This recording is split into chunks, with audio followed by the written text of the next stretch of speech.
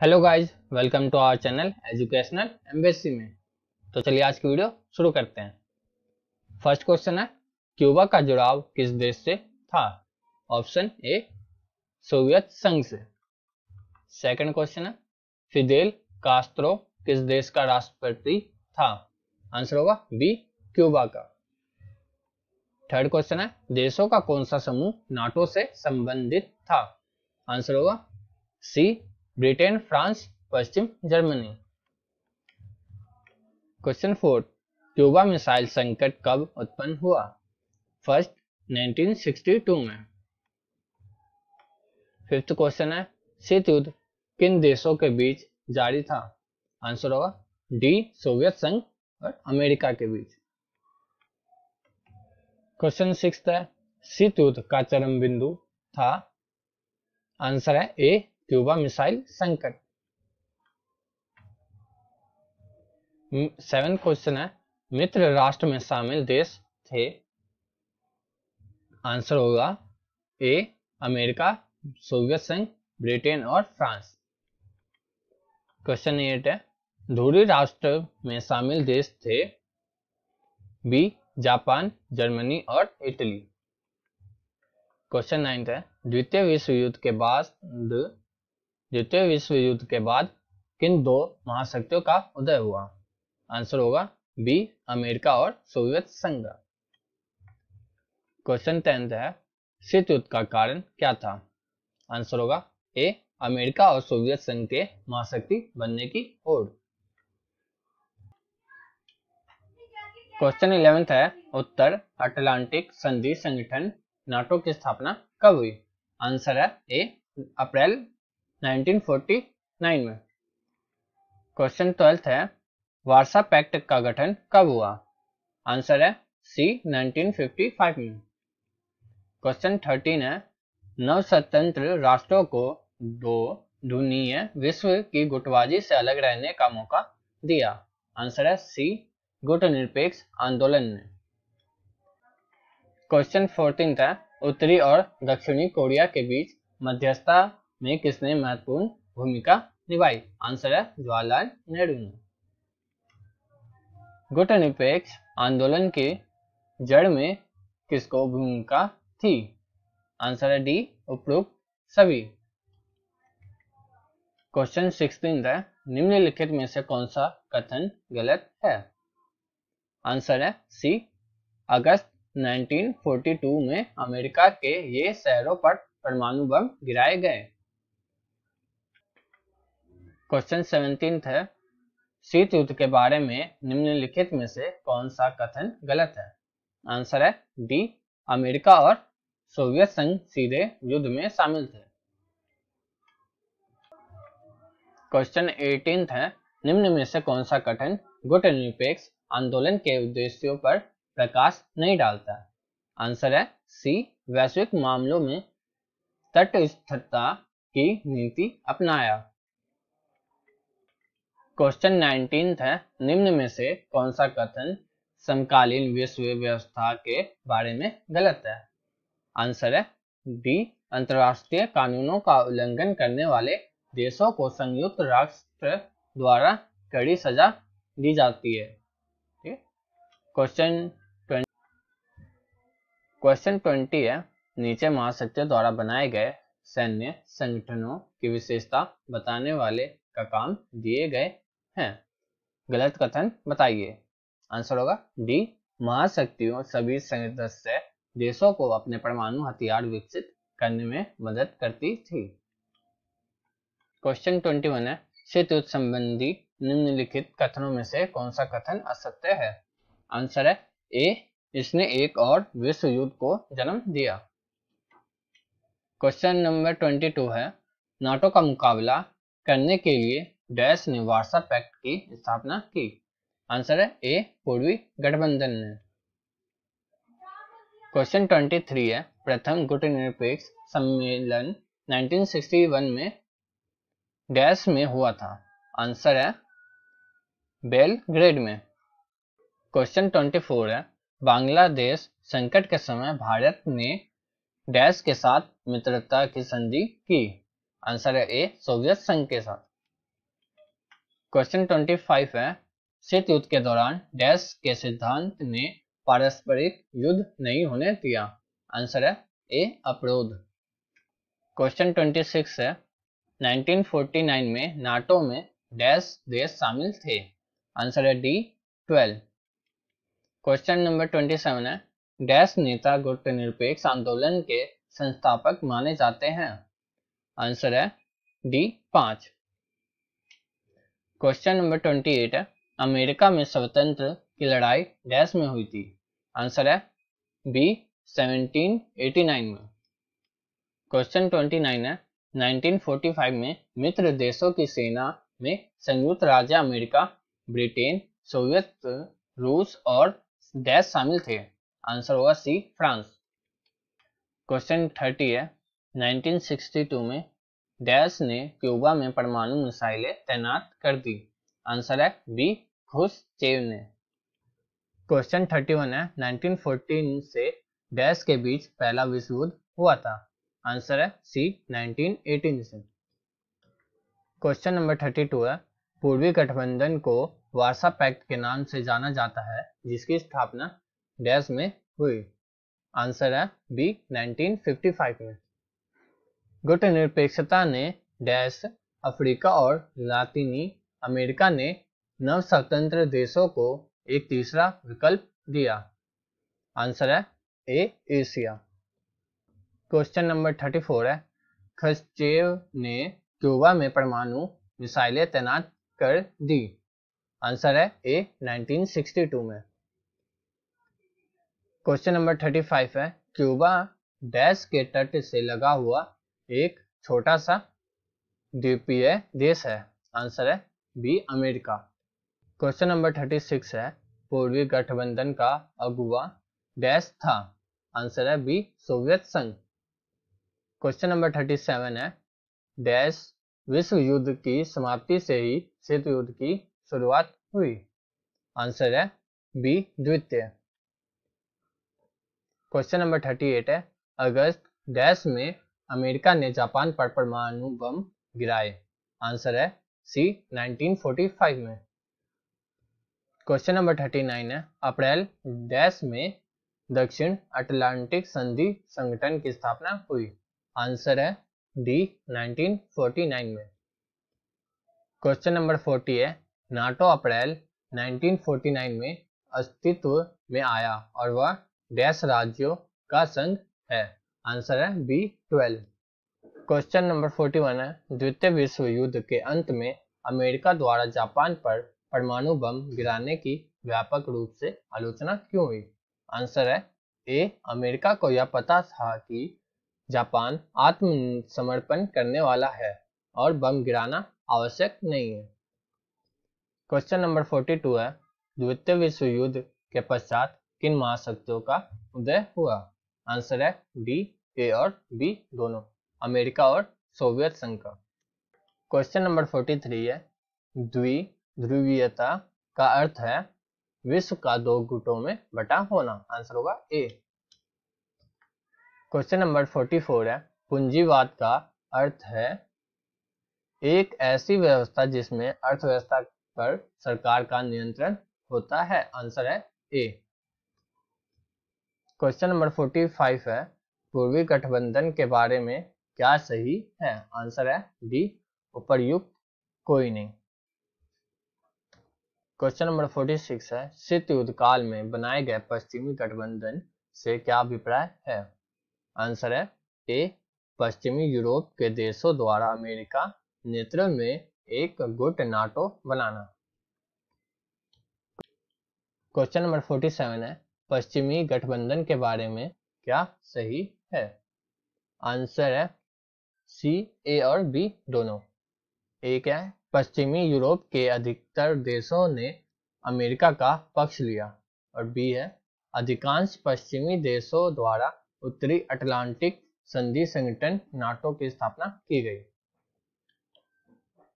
Question number 48 है, महाशक्तियों को छोटे देशों के भू क्षेत्रों की आवश्यकता क्यों थी? आंसर है ए, महाशक्तियों को अपने हथियारों और सेना का संचालन करने के लिए।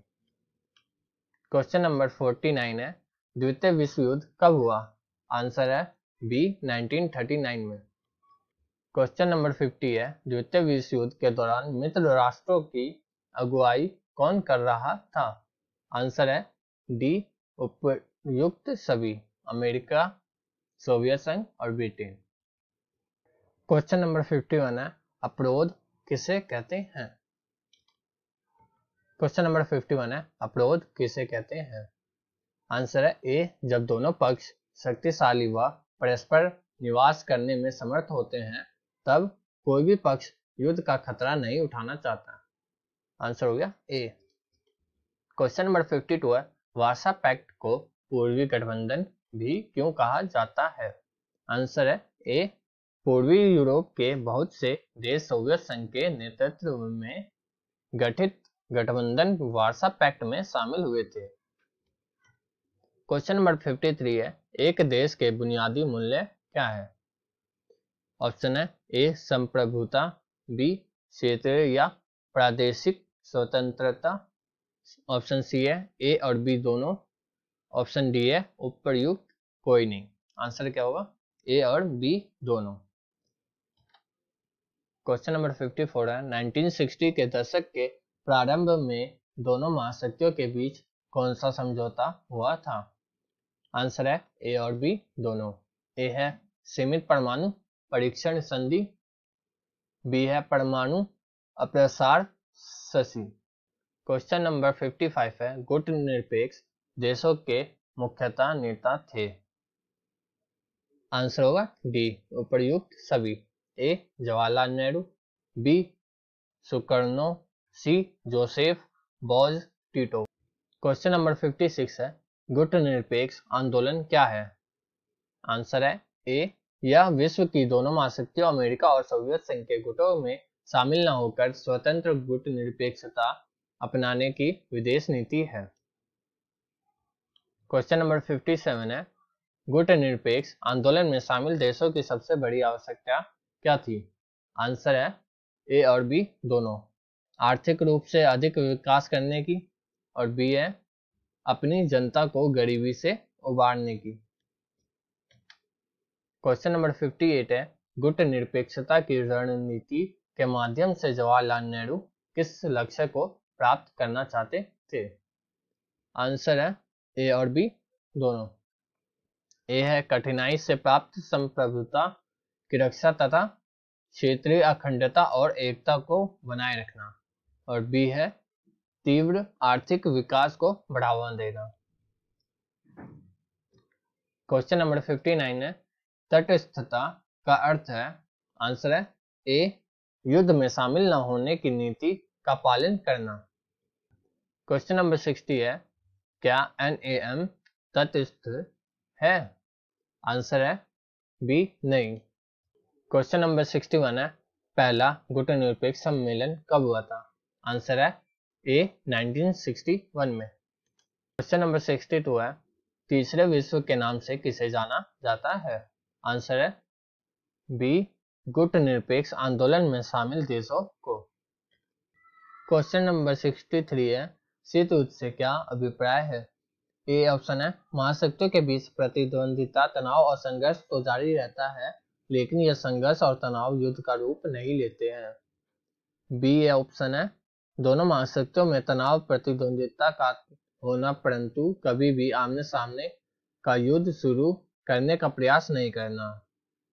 तो हमारा आंसर क्या होगा? सी ए और बी दोनों। क्वेश्चन नंबर सिक्सटी फोर है शीत युद्ध के काल में किन विचारधाराओं में तनाव चल रहा था? आंसर है ए, साम्यवाद, पूंजीवाद। क्वेश्चन नंबर सिक्सटी फाइव है शीत युद्ध के दौरान दोनों गुटों ने हथियारों का जमावड़ा क्यों एकत्रित किया? ऑप्शन ए है शीत युद्ध के दौरान दोनों देशों के बीच प्रतिद्वंदिता समाप्त नहीं हुई थी। ऑप्शन बी है, दोनों को ही एक दूसरे की तरफ़ से हमले की आशंका रहती थी।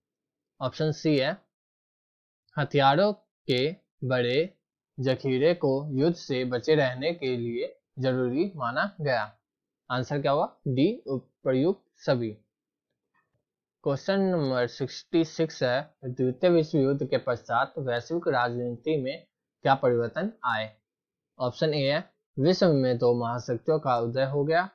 ऑप्शन बी है, सोवियत संघ और अमेरिका विश्व की सबसे बड़ी शक्ति थी। ऑप्शन सी है एक दूसरे से आगे निकलने की होड़ के कारण दोनों महाशक्तियाँ विश्व के विभिन्न हिस्सों में अपना प्रभुत्व बढ़ाने में लगी। ऑप्शन डी होगा हमारा answer.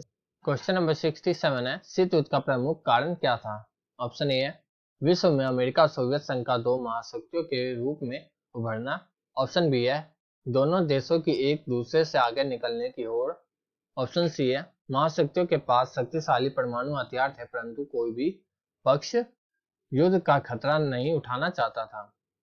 हमारा आंसर क्या होगा? डी, उपयुक्त सभी क्वेश्चन नंबर सिक्सटी एट है। द्वितीय विश्व युद्ध के पश्चात वैश्विक राजनीति में अमेरिका की क्या स्थिति थी? ऑप्शन ए है, अमेरिका बहुत मज़बूत स्थिति में था। ऑप्शन बी है, वह वैश्विक राजनीति में एक महाशक्ति के रूप में अपना स्थान बना चुका था। ऑप्शन सी है अमेरिका ने पश्चिमी गठबंधन को संगठन का रूप प्रदान कर 1949 में उत्तर अटलांटिक संधि संगठन नाटो की स्थापना की और इन देशों में साम्यवाद का प्रसार रोकने के लिए विदेश नीति निर्धारित की। आंसर क्या होगा? डी उपयुक्त सभी। क्वेश्चन नंबर 69 है, विश्व एकल ध्रुवीय कब बना? आंसर है ए 1991 में सोवियत संघ के विघटन के बाद। शीत के क्षेत्र थे। ऑप्शन ए, उत्तर कोरिया। सोवियत रूस द्वारा समर्थित बनाम, दक्षिण कोरिया। संयुक्त राज्य अमेरिका द्वारा समर्थित। ऑप्शन बी है, उत्तरी वियतनाम। सोवियत रूस द्वारा समर्थित बनाम, दक्षिण वियतनाम। संयुक्त राज्य अमेरिका द्वारा समर्थित। आंसर होगा ए और बी दोनों।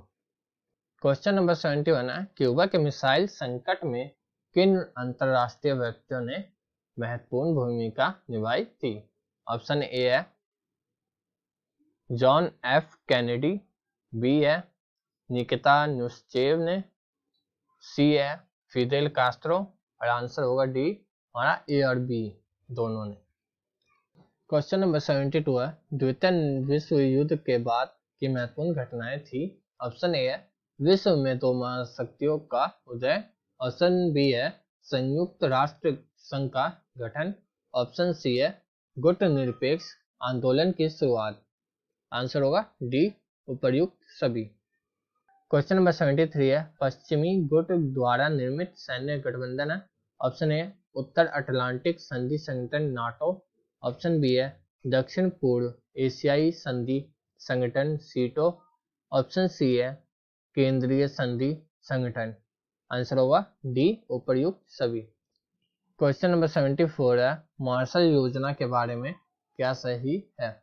ऑप्शन ए है, मार्शल योजना अमेरिकी विदेश मंत्री के नाम पर बनी थी। ऑप्शन बी है, इस योजना के द्वारा यूरोपीय देश को अमेरिकी मदद की दी गई। ऑप्शन सी है, इससे आने वाले वर्षों में पश्चिमी यूरोपीय देशों की अर्थव्यवस्था में और तेज़ी से विकास हुआ। ऑप्शन डी, उपयुक्त सभी। आंसर होगा ऑप्शन डी, उपयुक्त सभी। क्वेश्चन नंबर सेवेंटी फाइव है, नाटो के बारे में क्या सही है? ऑप्शन ए, अप्रैल 1949 में पश्चिमी गठबंधन में अमेरिका की अगुवाई में भारत देशों को लेकर उत्तर अटलांटिक नाटो को जन्म दिया।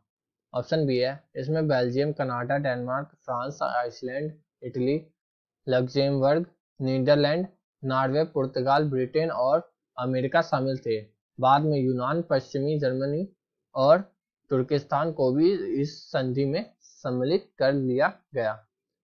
ऑप्शन सी है, नाटो के गठन के समय की गई घोषणा में साफ़ शब्दों में यह कहा गया कि उत्तरी अमेरिका या यूरोप के साल किसी भी एक देश पर होने वाले हमले को इस संगठन में शामिल सभी देश अपने ऊपर होने वाला हमला माना करेंगे। आंसर होगा हमारा डी, उपरयुक्त सभी। क्वेश्चन नंबर सेवेंटी सिक्स है। निम्नलिखित को कालानुक्रमिक क्रम से व्यवस्थित कीजिए। ऑप्शन ए है, ट्रामेन का सिद्धांत। ऑप्शन बी है, बगदाद समझौते पर हस्ताक्षर। ऑप्शन सी है, बर्लिन की दीवार गिरी। ऑप्शन डी है, क्यूबा मिसाइल संकट। तो आंसर क्या आएगा? पहले आएगा ए ट्रामेन का सिद्धांत। फिर आएगा बी बगदाद समझौते पर हस्ताक्षर। फिर आएगा डी क्यूबा मिसाइल संकट, फिर आएगा सी, बर्लिन की दीवार गिरी। बी, फ़र्स्ट, फिर सेकंड, फिर फोर्थ, फिर third. Question number seventy seven है। निम्नलिखित को कालानुक्रमिक क्रम से व्यवस्थित कीजिए। ऑप्शन है ए, जर्मनी का एकीकरण। ऑप्शन बी है सोवियत संघ का विघटन। ऑप्शन सी है बर्लिन की दीवार खड़ी की गई। ऑप्शन डी है मार्शल योजना। क्या आएगा पहले? फ़र्स्ट पे आएगा ऑप्शन फोर डी मार्शल योजना। फिर आएगा सी बर्लिन की दीवार खड़ी की गई। फिर आएगा ए जर्मनी का एकीकरण। फिर आएगा बी सोवियत संघ का विघटन। क्वेश्चन नंबर सेवेंटी एट है। क्यूबा प्रक्षेपास्त्र संकट कब उत्पन्न हुआ? आंसर है ए 1962 में। क्वेश्चन नंबर 79 है। शीत युद्ध का संबंध था। अमेरिकी गुट और सोवियत गुट से। क्वेश्चन नंबर 80 है, भारत ने शीत युद्ध से अलग रहने के लिए किस आंदोलन की शुरुआत की? आंसर है बी गुट निरपेक्ष आंदोलन। क्वेश्चन नंबर 81 है, सोवियत गुट ने किस सैनिक गठबंधन का निर्माण किया? आंसर है C, Warsaw pact question number 82 है, क्यूबा मिसाइल संकट के समय सोवियत संघ का नेतृत्व जिस नेता के हाथों में था, उसका नाम था आंसर है बी, निकता खुशचेन ने। क्वेश्चन नंबर 83 है, नाटो की स्थापना कब हुई थी? आंसर है ए अप्रैल 1949 में। क्वेश्चन नंबर 84 है, वासा संधि की स्थापना हुई थी? आंसर है सी 1955 में। क्वेश्चन नंबर 85 है युद्ध के प्रति भारत की क्या नीति थी? आंसर है डी, सक्रिय और हस्तक्षेप की। क्वेश्चन नंबर 86 है। छोटे देश निम्न कारण से महाशक्तों के बड़े काम के थे। ऑप्शन ए है तेल और खनिज। ऑप्शन बी है भू क्षेत्र ऑप्शन सी है सैनिक ठिकाने। आंसर क्या होगा? डी उपरयुक्त तीनों। क्वेश्चन नंबर एटी सेवन है। शीत युद्ध के दौरान महाशक्तियों के बीच तनातनी का मुख्य अखाड़ा जो महाद्वीप बना उसका नाम है, आंसर है A, Europe. Question number eighty eight है, रिक्त स्थानों की पूर्ति करें। ऑप्शन ए है नाटो का मुकाबला करने के लिए डैश ने वार्सा संधि की स्थापना की। आंसर है, पूर्वी गठबंधन ने। ऑप्शन बी है, प्रथम कूटनिरपेक्ष सम्मेलन 1961 में डैश में हुआ था। आंसर है, बेलग्रेड में। ऑप्शन सी है, संकट के समय भारत के सोवियत संघ के साथ ही मित्रता की संधि की। आंसर है बांग्लादेश। ऑप्शन डी है, शीत युद्ध के दौरान डैश के सिद्धांत ने युद्ध नहीं होने दिया। आंसर है अपरोध सिद्धांत। क्वेश्चन नंबर 89 है, मिलान कीजिए। देश और राजधानियों के बीच। ऑप्शन ए, परमाणु प्रसार संधि। क्या होगा 1970 में। ठीक है? ऑप्शन बी गुट निरपेक्ष सम्मेलन, बेलग्रेड 1961 में। ऑप्शन सी, जापान, पर परमाणु हमला। 1945 में हुआ था। ऑप्शन डी है, अंक टाड सम्मेलन कब हुआ था 1972 में। क्वेश्चन नंबर 90 है, सही अथवा गलत? ऑप्शन ए है, अगस्त 1942 में अमेरिका के दो शहरों पर परमाणु बम गुट निरपेक्ष सम्मेलन, बेलग्रेड। ये गलत है। ऑप्शन बी है, महाशक्तियाँ सभी सदस्य देशों को अपने परमाणु हथियार विकसित करने में मदद करती थी। ये भी गलत है। क्वेश्चन नंबर 91 वाक्यों को सही करके लिखिए। ए 1962 में खुशचेव ने कांगो में परमाणु मिसाइल तैनात कर दी। आंसर होगा 1962 में खुशचेव ने क्यूबा में परमाणु मिसाइलें तैनात कर दी। अवतरण पर आधारित प्रश्न। नीचे दिए गए अवतरण को ध्यानपूर्वक पढ़िए और दिए गए प्रश्नों के उत्तर दीजिए। क्वेश्चन नंबर 92 है, सोवियत संघ को चिंता किस सन से शुरू हुई? आंसर है सी 1961 से। क्वेश्चन नंबर 93 है, क्यूबा को रूस के सैनिक अड्डे के रूप में बदलने का फैसला किसका था? आंसर है ए, निकता खुशचेव ने। क्वेश्चन नंबर 94 है, अमेरिकी सैनिकों को हथियार तैनात का पता कब चला था? आंसर है बी, तीन हफ़्ते बाद। क्वेश्चन नंबर 95 है, क्यूबा पक्ष से पास्प संकट कब उत्पन्न हुआ था? आंसर है ए 1962 में। अवतरण पर आधारित प्रश्न। नीचे दिए गए अवतरण को ध्यान पूर्वक पढ़िए और दिए गए प्रश्नों के उत्तर दीजिए। क्वेश्चन नंबर 96 है, शीत युद्ध का कारण क्या था? आंसर है ए अमेरिका और सोवियत संघ के महाशक्ति बनने की होड़ क्वेश्चन नंबर 97 है, शीत युद्ध किन देशों के बीच हुआ था? आंसर है सोवियत संघ और अमेरिका के बीच। क्वेश्चन नंबर 98 है। शीत युद्ध का सही अर्थ होता है। आंसर है सी, तनाव तथा संकट की स्थिति। क्वेश्चन नंबर 99 है। क्यूबा मिसाइल संकट को किस युद्ध का चरम बिंदु माना जाता है? आंसर है सी शीत युद्ध का। कार्टून चित्र पर आधारित प्रश्न। नीचे दिए गए कार्टूनों को ध्यानपूर्वक अध्ययन कीजिए और निम्नलिखित प्रश्नों के उत्तर दीजिए। क्वेश्चन नंबर हंड्रेड है। उपयुक्त दोनों कार्टून किस विख्यात भारतीय कार्टूनिस्ट द्वारा बनाए गए हैं? आंसर है ए, भारतीय कार्टूनिस्ट कुट्टी द्वारा। क्वेश्चन नंबर 101 है। इनमें किस युद्ध को लेकर भारत के दृष्टिकोण को चित्रित किया गया है? आंसर है सी, शीत युद्ध। क्वेश्चन नंबर 102 है। दूसरा कार्टून क्या दर्शाता है? आंसर है डी वियतनाम में अमेरिकी दुस्साहस को चित्रित किया गया है। क्वेश्चन नंबर 103 है। प्रथम कार्टून चित्र कब का है? आंसर है सी अमेरिकी ने चीन के साथ गुपचुप दोस्ती गाठी।